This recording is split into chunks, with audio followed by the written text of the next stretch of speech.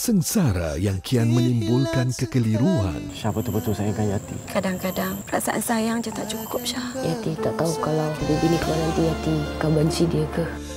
Namun di sebaliknya peluang kedua diberi